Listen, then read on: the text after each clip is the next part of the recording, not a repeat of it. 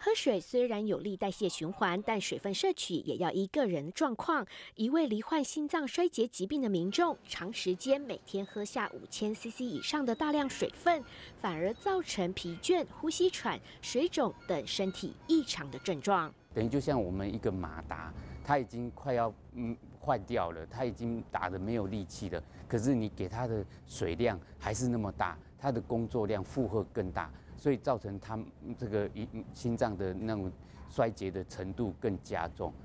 体重乘以三十就是一天建议喝水量。以七十公斤的成人来说，一天约需补充两千一百 CC 的水分，可参考天气。个人情况斟酌，有些民众会在起床、睡前喝一杯水来养生，但若夜晚频尿影响睡眠，就建议减半调整，避免体内氧气流失。水是阴，我们今天水分的一种输布需要靠我们所谓的阳气。水喝太多，晚上中医讲属于阴，那你今天阳气相对薄弱的情况之下，你喝太多的水进入体内，等于说你阴气太盛。